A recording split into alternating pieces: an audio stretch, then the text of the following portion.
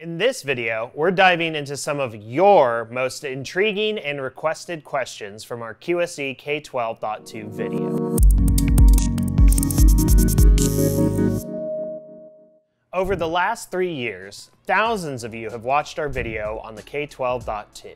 We are astounded with how many people this video has helped, and we're appreciative of all the positive feedback we received.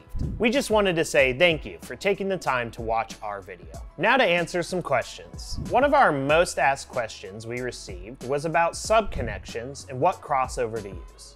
We touched on how to set the sub crossovers, but didn't dive too much deeper. For those asking what crossover to use with a specific sub, my answer is to just use your ears and go with what sounds best. Now, you can get into a situation where you set the crossover too high, say at 125 hertz, and your sub only produces frequencies up to 100 hertz, and all of a sudden you're missing a chunk of the low end. This will be noticeable to trained ears, but could be missed if you don't know what to listen for. In that case, I'd look up the specifications of the sub you're using, and from there you can make a more informed decision. Let's talk a bit now about the order of connections needed to run subs with QSC tops. We try to give out accurate, easy to understand information, but sometimes we miss the mark, like with this comp. With the K.2 series speakers, it actually doesn't matter what order you plug the speakers or subs in. This is because of where the crossover gets applied to the signal. In order to understand this concept more, let's pull up the block diagram provided in the QSC manual. A block diagram shows us the exact path an audio signal can take through the speaker and lets us see where adjustments we make to the settings are applied. Now I know this can look like a lot, but let's just focus on input A to start. First off, we can see the input XLR combo jack here. Once we plug our audio source in, we can see the signal heads in two directions. The branch is notated by the dot here. The signal going down can either branch off to the mic level preamp or head all the way down into the XLR through output. This tells us that the exact signal we plugged into input A comes out of this output with absolutely no changes to the signal. Now if we go back to the beginning and continue to the right, we see this odd looking broken up portion. This is where the mic versus line setting comes in. If you select mic level for the input, you would be using this path, whereas selecting line level uses this path. As you can see, the big difference here is inserting a mic preamp into the equation, which is why the signal will be so much louder than if you had selected line level. Continuing on, we have a couple bits that show where the LED lights are changing based on the signal, but more importantly, we hit this, which represents the physical gain knob on the back of the speaker.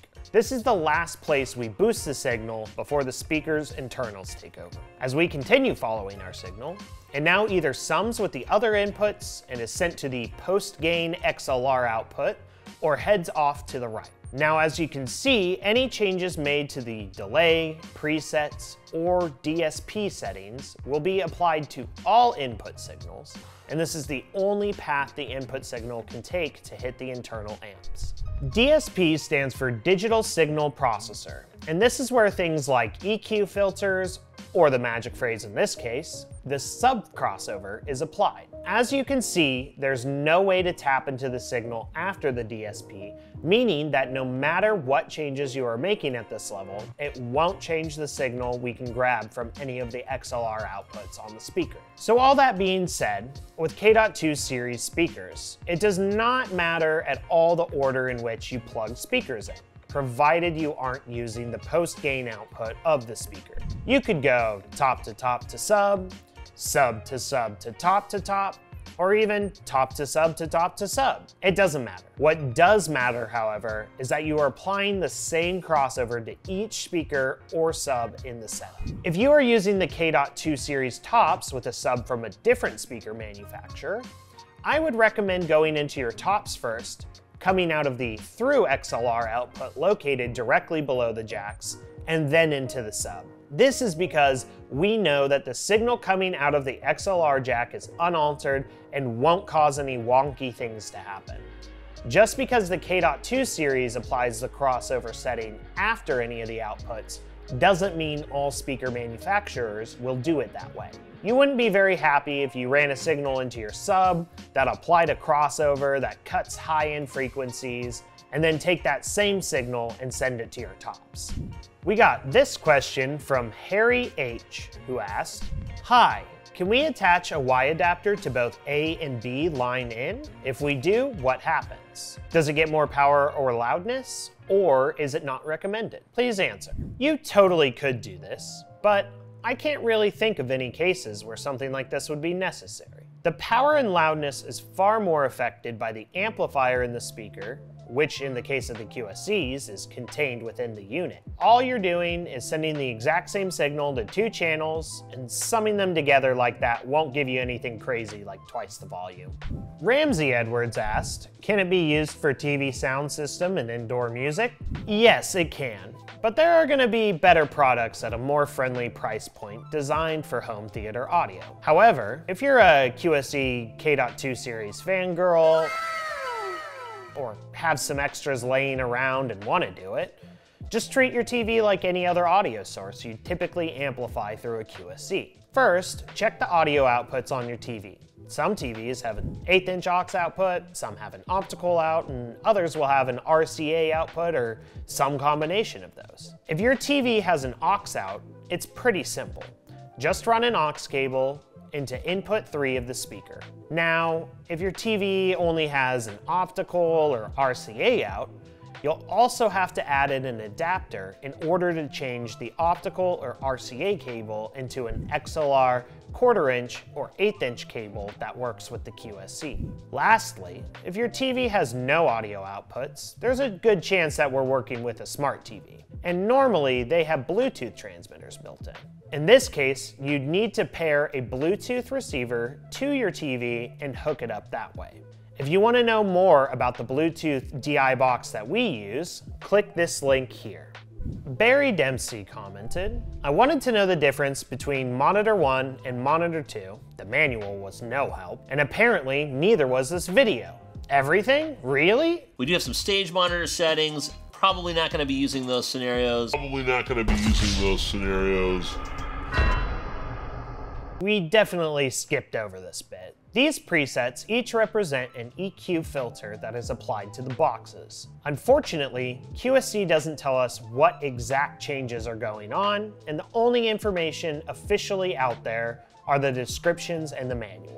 These aren't the most helpful, but give us a few clues as to what's going on. The difference between the Monitor 1 setting and the Monitor 2 setting will be that the Monitor 2 setting has some more low end in it. Like I said earlier, QSC does not publish any information about what EQ curves they are applying with these presets. There are tools that allow us to take a peek as to what's going on. I found a blog post breaking down exactly what each preset was doing. Here we can see what is happening to the same audio signal coming out of a K10.2 speaker with the different speaker presets applied, thanks to Joe the Audio Pro from Excellence Marketing.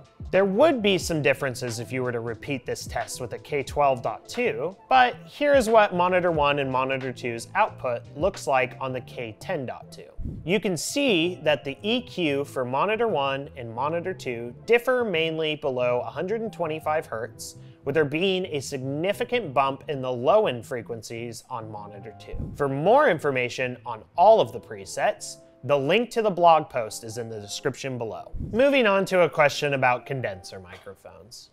Is there a setting for the condenser mic? I have a phantom-powered AKG 220. The short answer is no. A condenser mic requires phantom power, and the K12.2 does not have any built in. You will need to use another device, like a mixer, that has the ability to give mics phantom power. Sort of in the same vein of questioning, Wendell Carolyn asks, Quick question. We are using this without a mixer, a vocalist with a piano. Is there any way to add a slight bit of reverb to the vocal mic? Would this possibly be in the EQ settings? This speaker does not have any built-in effects. EQ can only boost or cut a frequency and will not produce reverb no matter the amount of fiddling you do. You'll need to add another piece of equipment, like a vocal reverb pedal or mixer in order to do this. Doug Johnson asks us a question about input settings. I have a vocal in channel A and an acoustic guitar in channel B. Do I go through the setting process, no sub, etc. as you explained? Then do I have to go back to select channel B and go through the setting process again for the guitar? My acoustic guitar has a very sophisticated onboard PUP system. Is default best for my guitar channel? Most of the settings on the QSC are going to be applied to all of the inputs. The only input specific things you can change are setting whether the input is a mic or line level and the physical gain knob on the back panel. If we take a look at the block diagram again, we can see that settings like delays and presets are applied to each input source in the same way.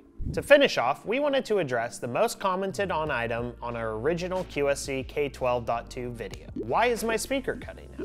To answer this question, I had to do a bit of digging around on some audio forums and QSC technical sheets, and it seems like this is a well-known issue among repair techs that work on QSC products. From what I could surmise, QSC K12.2 speakers were plagued with a manufacturing defect that occurred in some speakers made during 2020 and 2021. This issue caused the speaker amp module to fail. QSC responded by introducing firmware 1.2.0, which included a new Protect Mode 4, or PM4, that was designed to protect QSC products from critical thermal failure. This ended up leading to other issues though, such as false triggers of the protect mode, or, in some cases, the speaker refusing to leave the protect mode, essentially bricking it. QSC addressed these problems by updating the chipset for all new speakers made after September 2022, and added a new firmware specific to those chips. Hopefully, this is just a little blip down in quality caused by all the wonderful manufacturing challenges 2020 presented the world with. Our company has run K12.2s since 2017 when they debuted with no problems whatsoever. If you're still running into this issue, make sure the speaker is running on the latest firmware version. If that doesn't fix it though, you'll likely need to get in contact with QSC or the vendor you bought your speakers from about getting a replacement. It's a bit of a pain and will require documentation on your part, but you should be able to get the speaker repaired or swapped under warranty as long as you can prove that the speaker is the problem and not other gear in the equation like faulty XLR cables. All that being said, there is another thing that may be causing this issue. Double check to make sure that you don't accidentally have input 1 set to mic level when a line level is all that's needed. If you don't have the appropriate input level set, you may be overdriving the speaker and the cuts you are experiencing are from the limiter kicking in to protect the drivers from tearing themselves apart. If you want to read into the expanded version of this problem, check out our blog post linked in the description below. That's all the time we have for questions today. We tried to select a good cross-section of comments that answered the most questions. Let us know in the comments if you think we did that. And if you enjoy videos like this, be sure to like and subscribe. We have some really cool videos in the works and have a goal to hit 2,500 subscribers by the end of the year. It would be excellent if you could help with that.